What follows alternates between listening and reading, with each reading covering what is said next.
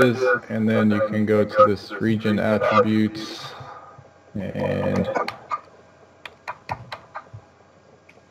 add the attributes that you want. So first one, the name, and then if you want to add uh, any other attributes, you can also do that as well. Um, but I'll just start with the name. So we have rectangle, you can do circle, ellipse, polygon. Um, we can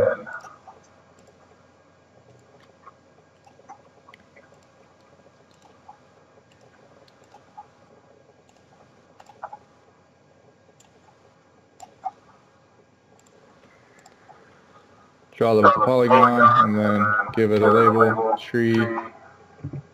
And now it is labeled as tree. Um, let's see, file attributes.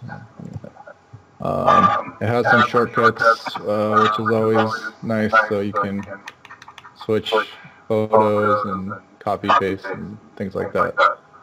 Um, so that next photo, you can do the same.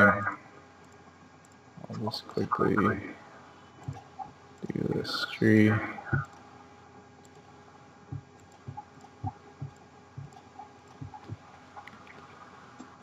Same, go to attributes, label it. Um, and then as far as uh,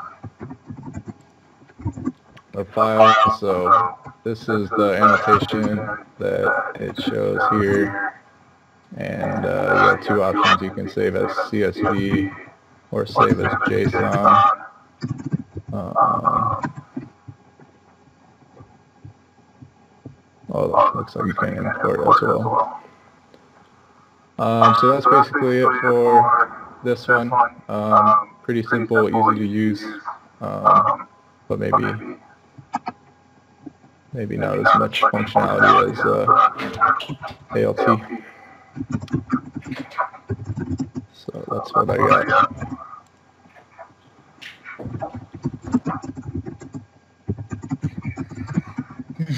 Thank you so much, David. I think that was really awesome, and uh, it was really. I think SSD